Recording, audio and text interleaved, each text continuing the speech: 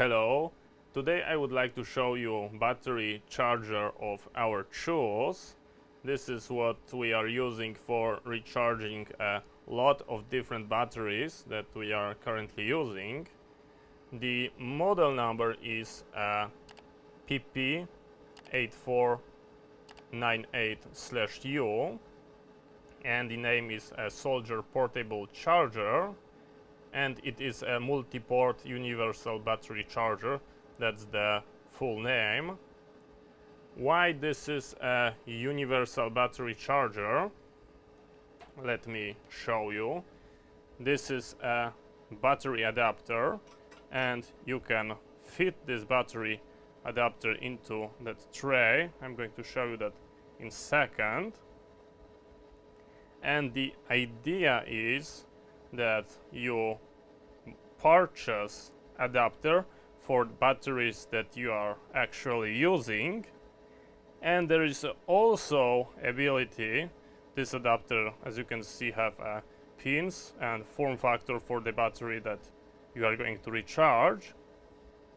And those pins are routed to the charger also with uh, control pins that will tell the battery charger what kind of battery that you have plugged in, what kind of voltage and other things.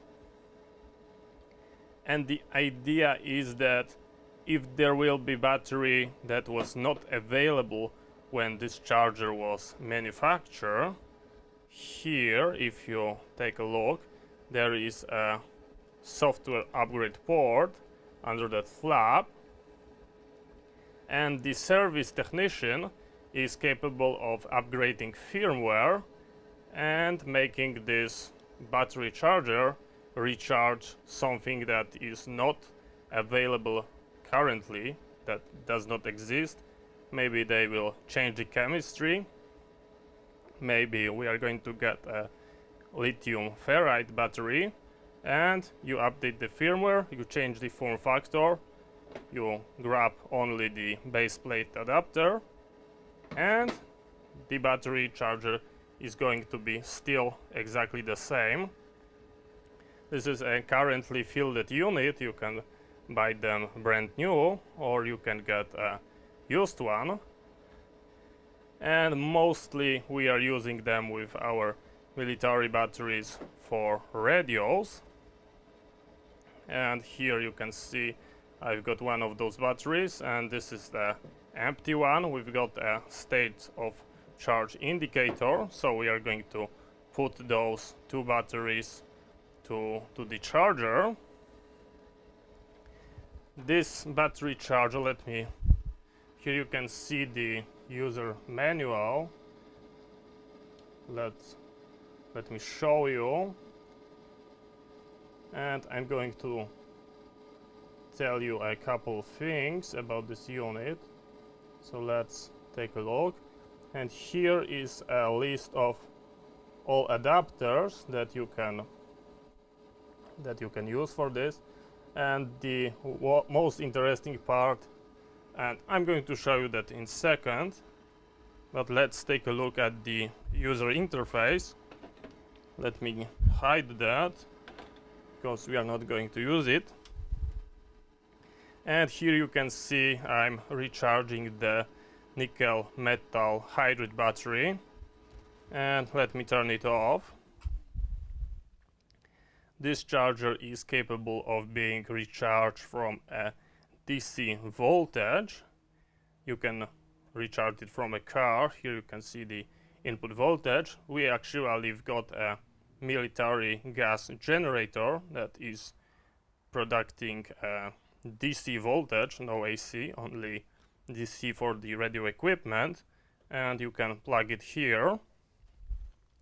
And this is the side for the DC voltage. We've got the circuit breaker and the on off switch. Here is a AC part. We've got a standard computer type plug. And as you can see it accepts a wide voltage range so we can use it uh, worldwide. We also got a circuit breaker and our main power switch. When I got this unit I was trained to always unplug it by this switch and only there change the battery but to be honest I was never doing that I was always swapping the battery when the device was working and I never got any problem but I was trained to do this only at off. So I'm telling you to follow that instruction. What it how it looks like. So when we power it on we are going to hear the fan and it's going to do a self-test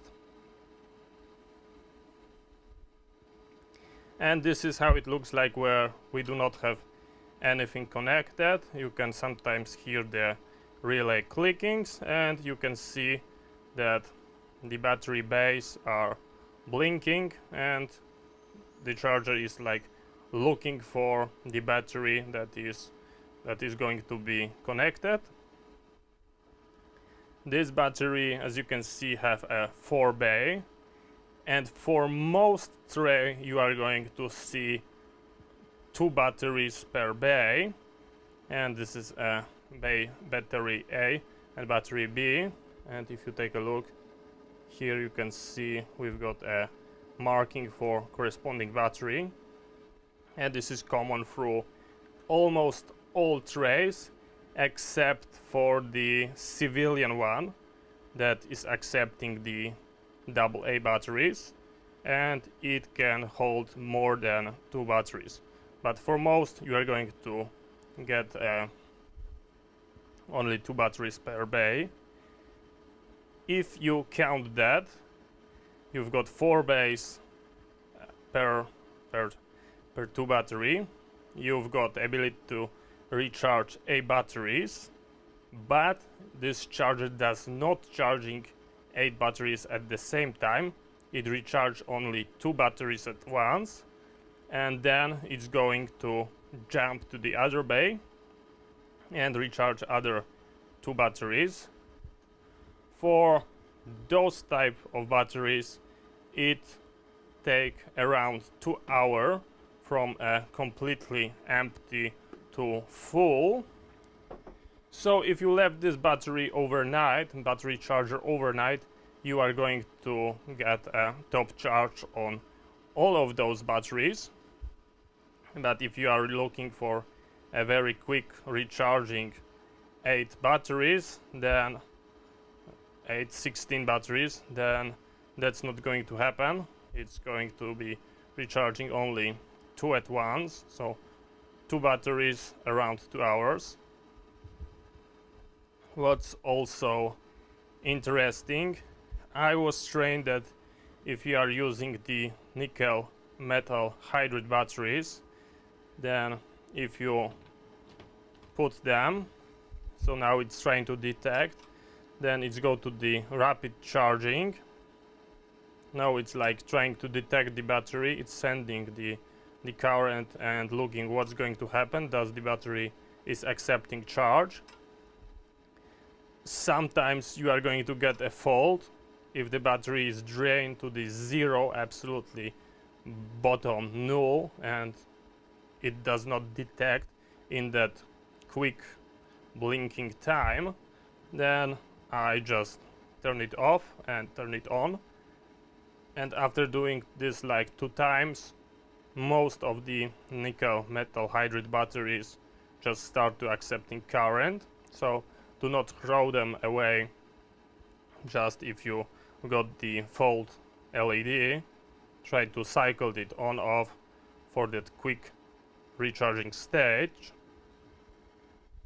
And I was trained that if you are using the nickel metal hydride when you are fully charged the green LED will start blinking. That's the like a trickle charging when the battery is almost full. And when you've got a solid green then is absolutely full for the nickel metal hydride you can turn the charger off and charge it on and like repeat the cycle to make sure that they are absolutely fully charged. That's how I was trained.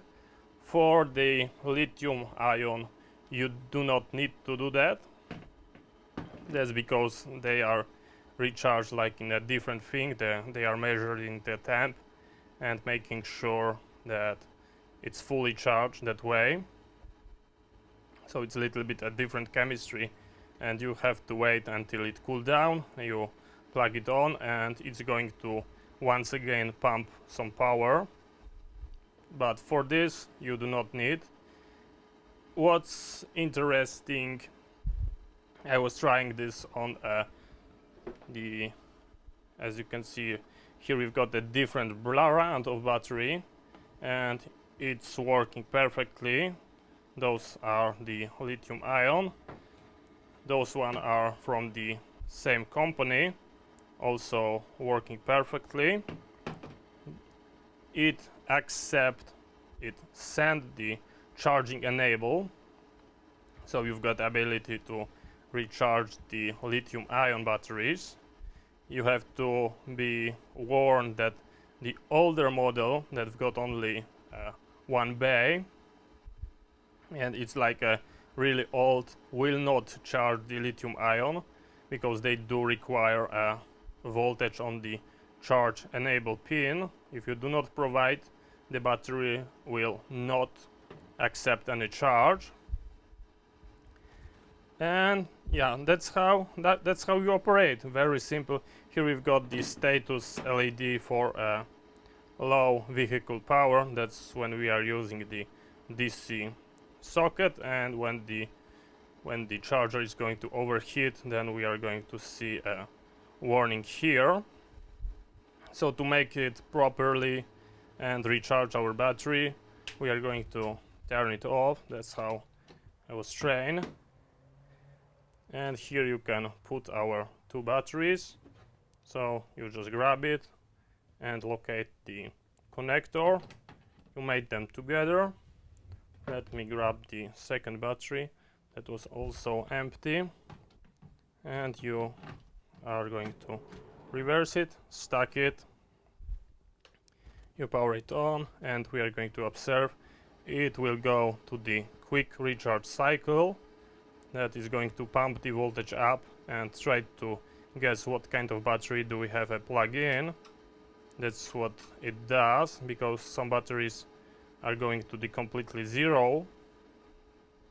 Like the nickel metal hydride they've got a high discharge voltage the, the high discharge self-discharge and after a month or so they can be like completely dead you can hear the relay clicking. And you are going to hear that while the charger is working because it's switching the this battery contain actually uh, two batteries. They are two 12 volt battery and that's what it's switching. So it's going to make sure uh, both set of this battery have a full charge. And yeah this is how it looks like so this is a really nice unit. It can be moved in this very nice case. And that's how I do take care of our batteries. So I hope you find it interesting. Thank you very much for watching. See you next time and bye bye